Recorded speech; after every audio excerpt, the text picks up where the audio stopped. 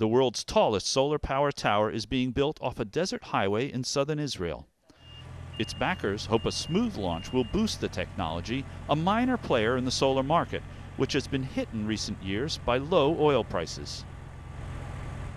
The Israeli tower is expected to reach 240 meters, that's 787 feet, when completed next year, the equivalent of a respectable New York City skyscraper. Eran Gartner is the CEO of Megalim Solar Power, the company building the 121 megawatt tower. There's a million square meters of mirrors surround our power tower. Uh, our power tower will be amongst the tallest and therefore allow the highest uh, energy density uh, of any of these uh, of any of these plants. Uh, we have advanced controls through Wi-Fi towers that are spread out throughout the uh, throughout the plant.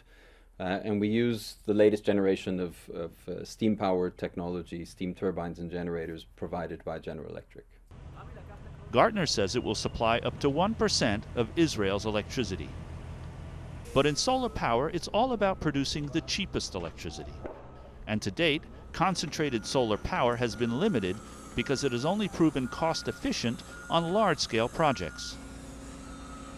Gartner says his company hopes to change that with the $773 million tower.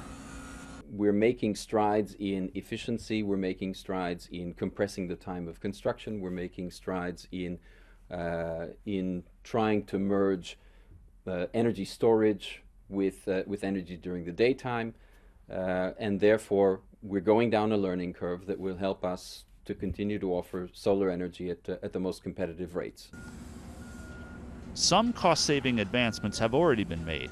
The tower's height allows a denser setup that requires less land than in previous projects. And the mirrors are controlled over a dedicated Wi Fi network rather than by expensive cables. And there's another upshot the tower is bird friendly.